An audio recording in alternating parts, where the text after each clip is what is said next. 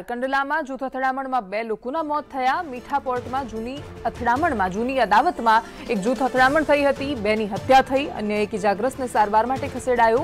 Bike ચલાવવાને મામલે સામાન્ય બોલાચાલી થઈ ત્યારબાદ અથડામણ સર્જાઈ ગઈ ગાંધીધામની ખાનગી હોસ્પિટલમાં સારવાર માટે ખસેડવામાં આવ્યા છે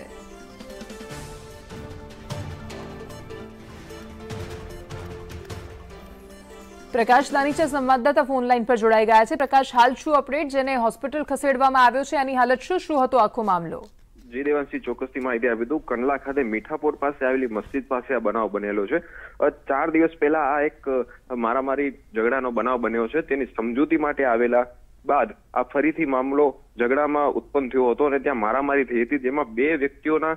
અ, હત્યા થઈ છે સાથે સાથે એક વ્યક્તિને અ, ગંભીર ઈજાઓ થઈ છે જેને ખાનગી હોસ્પિટલમાં ખસેડાયા છે આ ઉપરાંત આઠ જેટલા, સાતથી આઠ જેટલા એવા વ્યક્તિઓ છે, જેમને નાની મોટી ઈજાઓ થઈ છે, જેને ગાંધીધામની ખાનગી હોસ્પિટલમાં ખસેડવામાં આવ્યા છે. જો ચોક્કસ બીજી વાત કરવામાં આવે તો હાલ પોલીસનો કાફલો જે ડીવાયએસપી, એસપી સહિતનો પોલીસનો કાફલો જે છે, ખાનગી હોસ્પિટલો અને જે જે જગ્યાએ બનાવ થયો છે, ત્યાં પહોંચી ચુક્યા છે અને